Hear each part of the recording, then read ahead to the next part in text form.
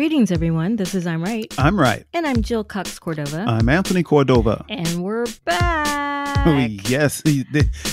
I wonder if our listeners missed us last week. Well, or maybe they enjoyed an episode that they had heard before a long time ago, but that they had heard before. In fact, we got more likes on that one than we did the first time Isn't around. Something. We, we something. may need to do that more often. We you know? might. We might need to. But this week we do have something new. In fact, I would Ah. almost call it a series of newness. Yes. And uh, listeners, we're doing this because uh, I began to realize that singles are having a real hard time communicating with each other on the face to face. Right, because of the pandemic. Yes, and and we've also found out that um singles started with uh you know dating online and swiping left and swiping right. Relationships just became disposable because you knew, you know, the single person knew there's another single person a swipe away. So they were just So you, you're saying that if they did date someone, they were easily replaceable, yes, yes, you as know. opposed to taking the time to really see if that person is for you or not.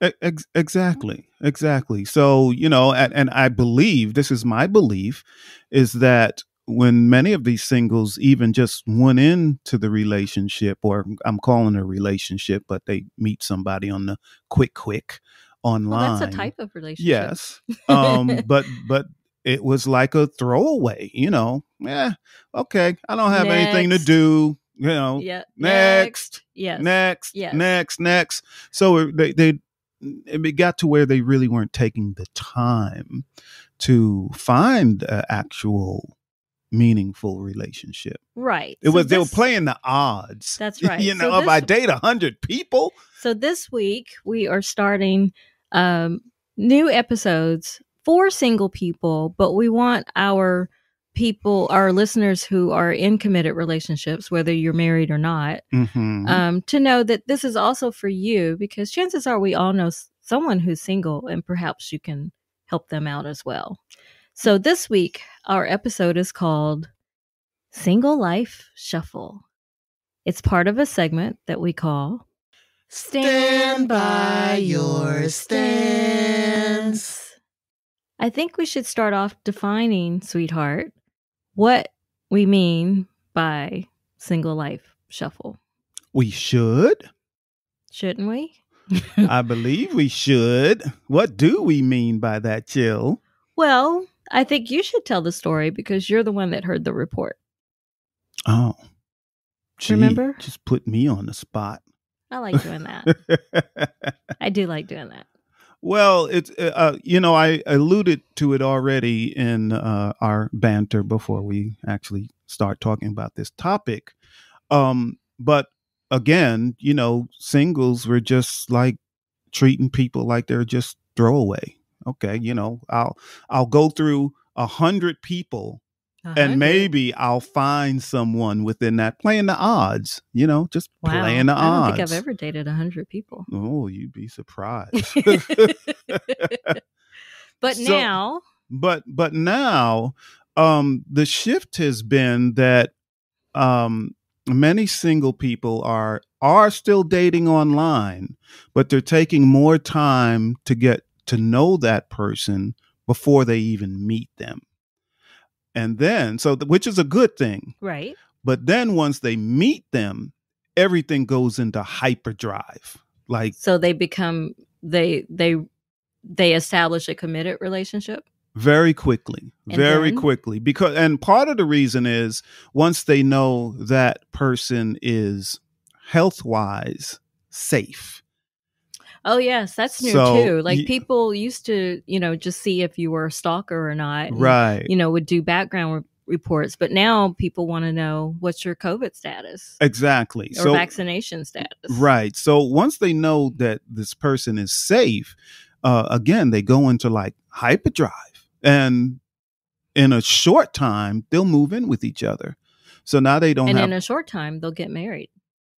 Well, well, yeah, in a, in a much shorter time. So they may move in with each other and be living together for I don't know six months and say, okay, let's get married, and the And? marriages are healthy. Oh, so it's actually a good thing they stay together. Yes, which is which is totally different than you know. Uh, our listeners know I I had like a two year rule, and you know I would two years to get to know a person Yes. before I even you know gonna like get married or something because uh, I found that it took that long. But this is a different uh, approach. Yes, it's Um, a different age though And it, it, it is a different age. I still believe in you need to take some time to, to- get to know a to person. get yes. to know a person, but uh, you can get to know quite a bit about a person if you are communicating online and or on the phone or by Zoom or something. You can get to know a person pretty intimately. So it's just so what are the things you think people should look for if if there's only a screen between them? the first thing I think a person should look for is honesty. Well, always. You always want that because otherwise how do you trust someone? Yes, But how can you, see that on, you, a, on a little screen? you, you yes people want honesty but people don't always look for honesty but how you do you how do you look for it on a screen? well you have to be very keen in your conversations and paying attention to what a person says um, if they begin to contradict contradict themselves um, you know you you know can tell that in time Oh, you know Well, not some with some people it, it's very easy. Quick, you see it very quickly very because quickly because uh-huh. in one sentence they'll contradict themselves exactly. within one sentence. Exactly. So that's that's a red flag, but that's something a single person should not ignore. Don't don't tell yourself, "Oh, no one's perfect." don't don't Well, tell no yourself is no one is perfect. perfect, but some things are real red flags. Like if you constantly find out that the things they say are not true, that's a red flag. So it doesn't matter how attractive that person is or or that they're wealthy or anything like that. If they give you red flags, pay attention. Pay attention and pay attention to your gut. Yes, I I think too often, at least I know I used to be that way. You know, I would get a funny. You know how they say you have butterflies when when you're falling in love, like Mhm. someone makes you ha- feel those butterflies. Yes. Some people, I I literally had guttural reactions hmm too, and I would I would ignore it, like, oh, it's just me. I'm too picky. I'm too selective. Yeah. But and then I would realize, oh, I was right all along are right all along. you know yes. because for example uh, nowadays you know people schedule video conferencing sessions calls you know it, okay. it took me a while to realize that nowadays when people say let's schedule a call they mean camera Uh, and mic yes. as opposed to a phone call yeah, like a Zoom call or Right, something. right. Okay. so i realized that people um you know so people schedule those all the time but if someone like bails on you last minute Yeah. they're probably going to bail on you in person too if they keep doing it. Oh, you know, abso- like like things happen. Don't get me wrong, and sometimes you do have to reschedule. Mhm. But if they always find something better every time, they're going to do that in person. Th- That's who they are. that that is true. Um, you know, the other thing I noticed about this new trend is that not not just this new trend, but uh, dating in general. I've been finding out that um, a lot of single people, uh, being that supposedly air quotes, the, the co- uh, that COVID is almost over.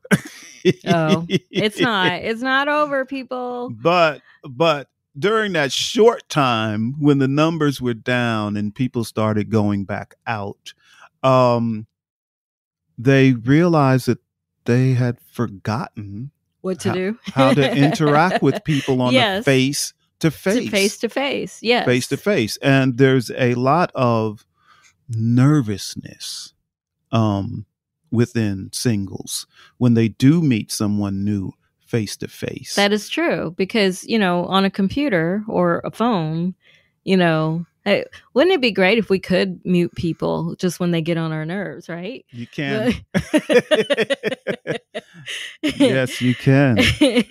but in person, you know, yes, you, you that's when you do see, you know, tw- uh, quirks, Yes. little quirks, and you actually see that sense of nervousness that maybe you can hide on a device. Correct. So uh many singles wanted to know how how do you handle that? You know, when you're when you're going on a first which I'll say meeting date in Oh, person. we're back to that. Yes. When you go on that first But isn't the meeting date online? Well, yes. See, so so being that times are changing, Times I had I had to add something. So so I would say that online, uh, when you're just communicating online with a person, that's your pre-meeting date. So that's that's you pre-meeting online before you go for that real meeting date in person, which will be a short thing, you know, coffee or lunch or you know something like that that you can get out of easy if it doesn't work well. Yes, and, and I can see the difference between the two because again, online they don't see your whole body. You Correct. know, they they you know And you, if, you know, if you if you have a habit of tapping your feet when you get nervous, you don't see that online. Ex- Exactly. And then on online, you're in your own home. You're at, Yes. you're in your comfort zone. Right. So it's much easier not to be nervous. right. Um, right. And there are there are aren't those distractions. So for example, um, with some jerks out there, if they're out in in public, um, they may have a wandering eye. Ah, yes, that's exactly you know, what I you was You can't see say. that online. Exactly. You know, Exactly. So, but the a lot of the question uh, questions were, well, if I go on this first um, meeting date, um, I'm going to be nervous because I haven't done this in such a long time, and I, I don't know how to say. I don't know what I should say, what I shouldn't say. I don't know what my mannerisms are. But that's where it's time to start that relationship off correctly and you just say look you know you announce really early look i'm really nervous about this yes, and It's chances are they long- they are too, and they Yeah. might be relieved yes that you have it, It's- have confessed that. Actually yes so you know you you just be honest and sincere um which also sets everything up for a better relationship if you find that hey this is a person i want to pursue and see if we can really Imagine build something that starting your relationship off with honesty. Wow. Yes, yes. Imagine that. imagine that and you know it's it's it's um like i have said before in in our podcast is that everyone when they meet someone face to face is on their p's and q's to Right. make sure they don't do anything wrong or say anything wrong um and they they try to present the best uh, Version version, of of, them. Mhm. themselves It- Yes. it's just human nature everybody's Sure. gonna sure, but- you want to make a good impression, but you also want to be who you are. yeah You know, that doesn't mean you have to tell everything in the first date. You know, Correct. because there may not be a second date anyway. right So you right. don't have to tell everything. everything. But if if you are feeling nervous, you should say, "Hey, you know, I'm nervous about this." Just, you know, and they may say the same thing, or they may not be nervous, but now that they know that you're nervous, they will. Um, they'll give you a pass, Yeah. probably. yeah, Because chances are they're they're nervous too. Maybe it's their first time of getting out. ex- exactly, exactly. Yes. So I, I I know that we have been married for some time now, but I'm 15 years. yeah, wonderful years, and I'm and I you know I still learn stuff about you. I learn stuff about you too. I do. We But are usually makes me- complex people, But it usually makes me laugh what I what I learn. but I am looking forward to actually talking to more singles. Yes, Um, we we definitely want to do that because we, you and I, really have a mission to help others. And I hope that other people do as Uh-huh. well. I hope we all have a mission to help others. But you and I definitely have that. And I think right now we're feeling that perhaps single people really need some encouragement and some help out there. Yeah. You yeah. know, because I, I don't believe we're meant to be alone. I, I Mhm. think we're meant to have somebody in our corner, Mhm. you know, all of us, Yeah. whether it's a romantic relationship or not. Yeah. Um now- now Jill, you and I were talking the other day about we are glad that we never had to do the Online, online, dating. Dating. Yes. but Um, then right after I said I said that to you. Mhm. But then right after I said that, I said, but I do believe you and I were destined to meet and that somehow or another we would have ended up together anyway. I truly believe that. Yes. Um yes, I because agree. any other time I would not have been working in a bookstore. Any other time in my life. Correct. So, and and that is that is I believe that to be true. But uh, in addition to that, um, people in this country of a certain age, um, that's all we've ever done. They've ever done. They've ever done. Yes. Plus us, we're of that certain age, Jill. Oh, People of a certain age have only dated in person. oh, I thought you meant online. yeah. Okay. I, I should have clarified. Yes. Okay. In yes, person. we've we've only done that in person. uh, so and some people have only done it online. That's all they know. Yes. Yes. So this is why I feel that um, all of us that are of that generation, that that Which generation? the generation that we're in, hmm um, have almost a responsibility to help the single people there now that are. So do you think it was easier for us? Um, yeah, I, I actually do. Because Um, whether you meet online or in person, you still have to get together in person. exactly. it Ex- still ends up the same way. Exactly. yeah And you know, just the thought of um relationships being disposable kind of makes me cringe. Yes. Um you know, it's like, hey, people are just throw throw away, throw away Yes. people. Yes. Um, you know, uh, you know, I'm gonna I'm gonna meet this person because they're hot. and strictly just because they're hot, you know, nothing else. You know, I, I, I have a thing I say, uh, that couple has as much future as a small puddle on a hot summer day. But- okay. But I don't agree with that because perhaps that hot like I I thought you were hot and we're married. You met me in a bookstore. But you were still hot.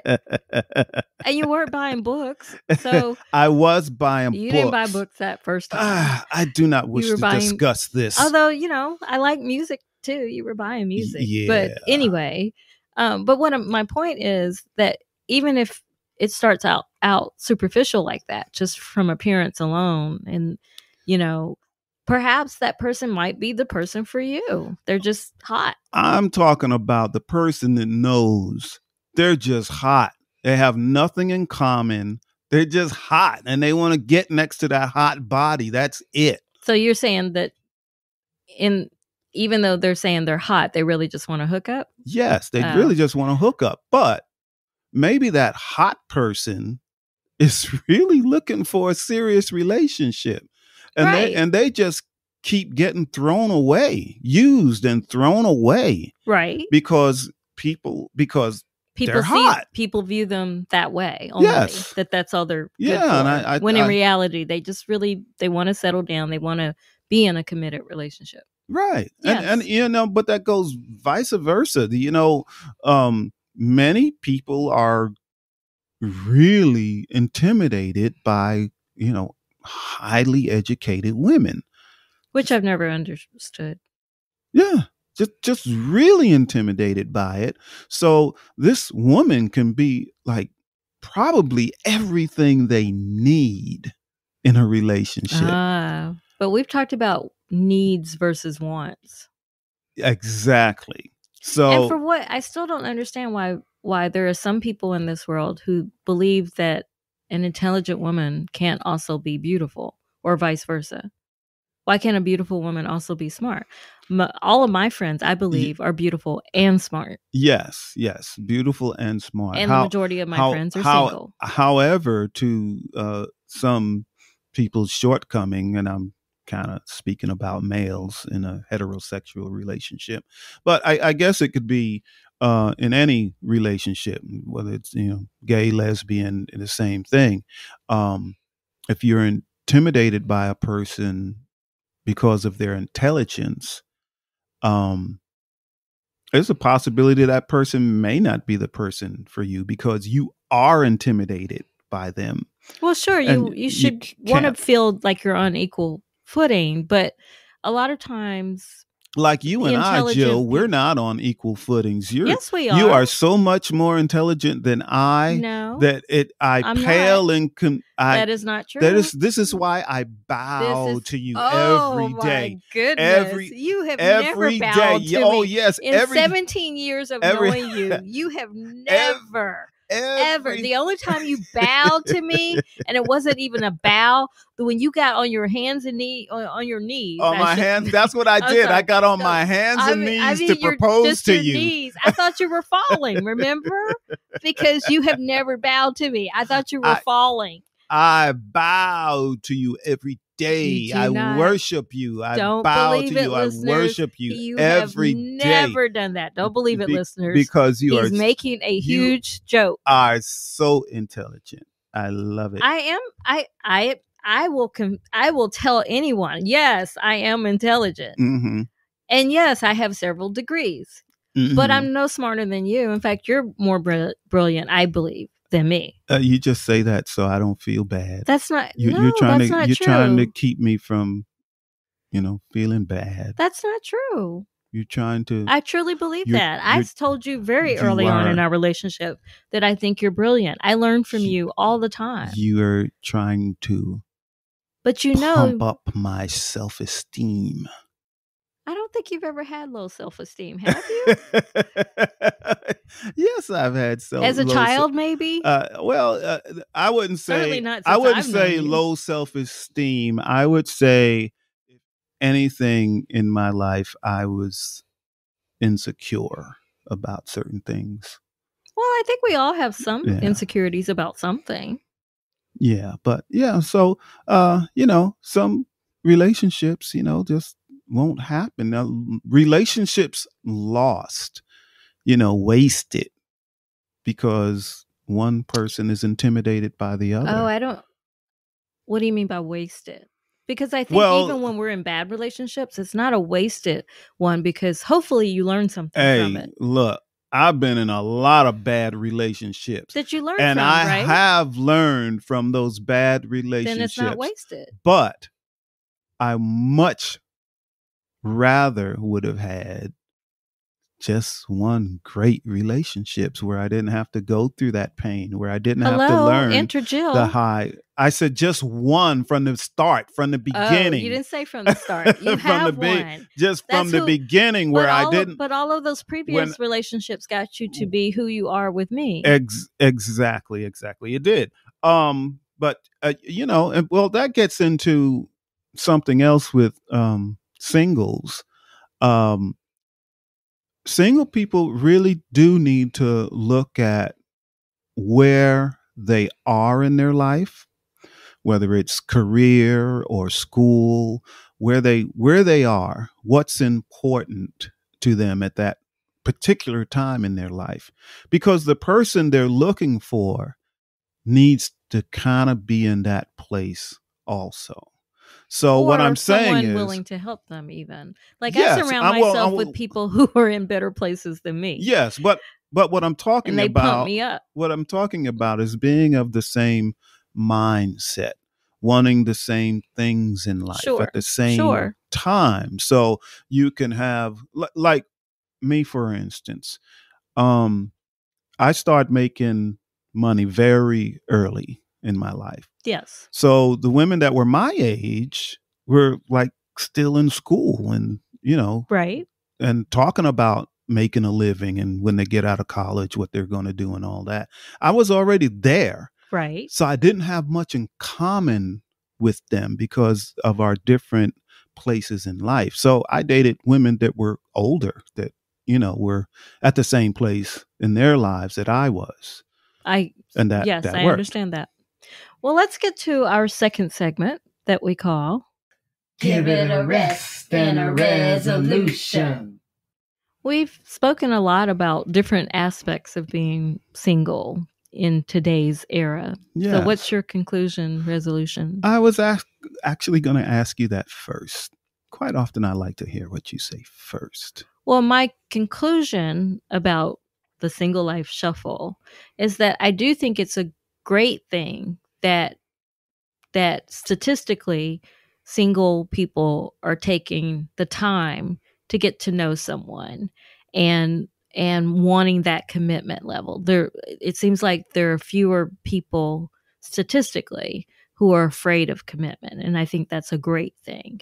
But in terms of staying in those committed relationships, I do think it's very important to not only be yourself, but really get to still keep an eye and, and try to get to know the person more and more. You and I made the point that we've been married 15 years, dated two years before that. That's 17 years, and we're still open to learning about each other. Yeah, that's that's that's very good. Um, you know, one of my conclusions about this is that I was really steadfast in that two year rule. You know, I had different levels. So if you're a senior citizen, two year rule goes out the window. but while you're young in that dating age and you're young, um, I was kind of steadfast in that two year rule. But I'm beginning to see that, hey, there's more than one way. There's another way that can work so that um, getting to know a person online and then getting to know them on you know taking quite a lot of long time to get to know them online and then meeting them in person and everything still works you still Right. have that connection right? to move forward a little quickly because they they go into hyperdrive kind of okay we're good let's Right. get married let's have a life together done done done it's a different way than i would do it but right. it's working it's working so Right. that's a that's a good thing i'm i'm happy to see that Wonderful. Well, let's get to our third segment that we call I'm trying to help you. Do you have advice? of course i do and i've given this advice before Uh oh, it's not run, is it? Of course it's run Look, I, I still say the same thing. Look, if you are, are are are getting to know someone online and you start seeing those red flags, run. Just run. Grab that red flag and go for a sprint. Just run from that person because there is there is nothing invested yet. You, you haven't lost anything. So just run, cut it short, done. Are you saying the minute you see a red flag or just wait a little bit? Nah, the minute you see it, just just run. Okay. Just out. Save yourself a lot of time and heartache. That's well, that's true. Well, my advice is well, not the opposite, but a little different than what you just said. Um, Okay. You and I, from the very beginning, have had. Well, our listeners might think they're silly, but to us, they're meaningful co- conversations. Okay. We've had meaningful c- conversations from the very beginning. So I do believe that single people, when you take the time to get to know each other, it must, it must involve meaningful relate meaningful conversations.